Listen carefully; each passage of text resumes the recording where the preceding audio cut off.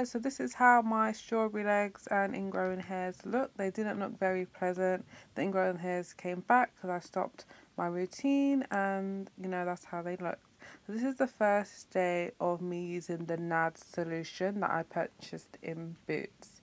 Um, I'm not too keen on this solution so after the first few days I was using it I didn't see much change so I began to use the Skin Doctors Ingrow the stuff that I was previously using.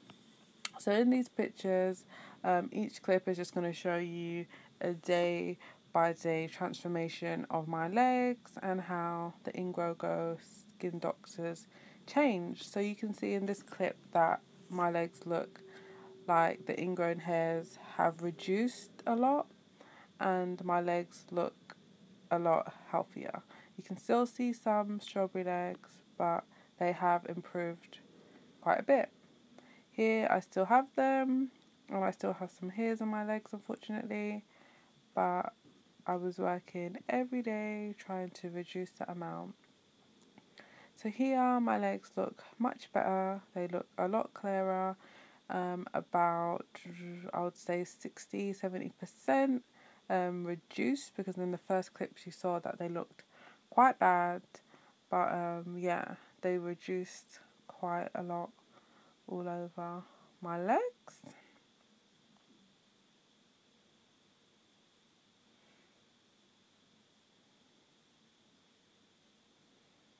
and then I began to do some sugaring. So I got some sugar wax done and it helped a lot. My legs look a lot brighter um, and I am going to continue to use the Ingrow Go solution and I will obviously receive better results. Like how I saw previously I just need to keep working hard at using the solution and exfoliating my legs. But I feel like I've come a long way from um, my first clip when my legs looked really bad and now they look a lot better. So as I said, I stopped using the NAD solution. I went on to use the um, Skin Doctors Ingrow Go solution and I did get a sugar wax.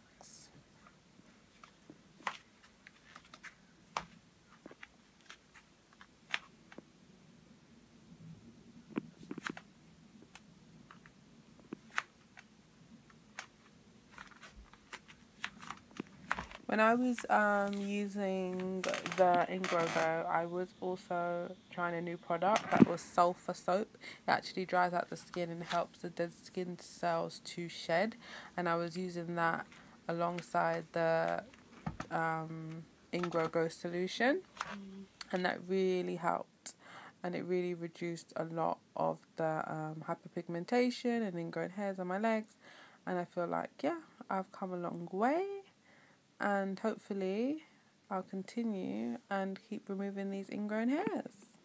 So as you can see in these pictures, my legs have obviously come a long way. They looked quite bad before and eventually over time what I've been doing, um, I've basically been making my legs look a lot better and the appearance of my strawberry legs have literally faded and have got a lot better.